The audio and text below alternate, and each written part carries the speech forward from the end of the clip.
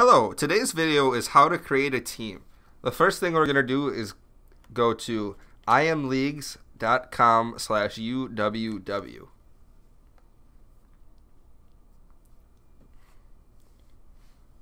Once we get there, usually you're going to have to sign in on the top by hitting the login button. It's the gold one, it's in the middle. And then we're going to click here. Then you're going to use your username and password, the same that you would use to get into WINS or your school email.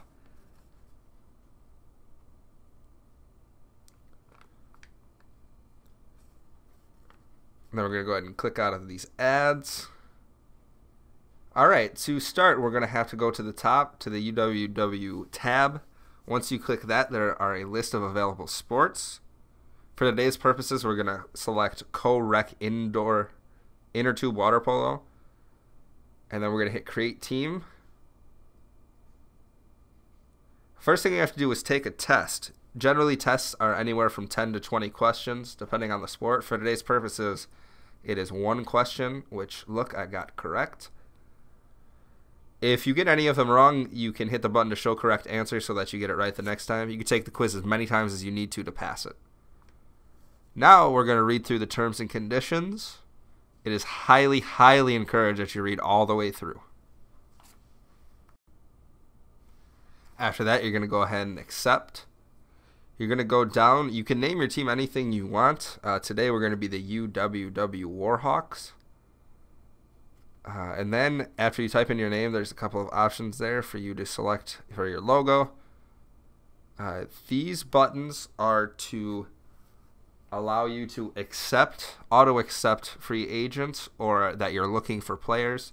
Uh, if you want them to both be blue, that means that it's auto accepting, which means you won't have to manually do it.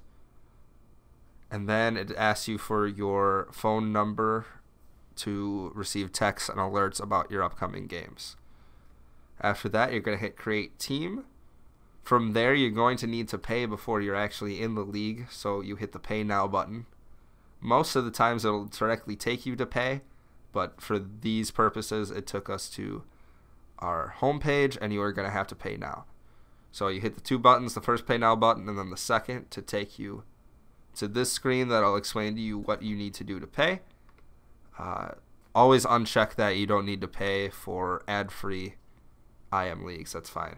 Uh, you're going to hit pay now, the blue button. And then from here, you have two options to pay. The first is to use a credit card.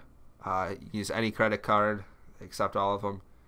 Otherwise, for these purposes, the preferred method is to use PayPal.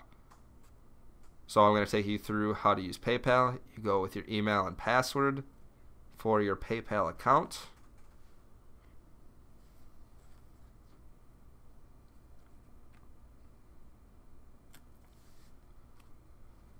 After you log in, it'll give you the option to pay. You just hit pay now. And just like that, you're done. From here, you can click return to merchant and it'll take you back to your IM Leagues page.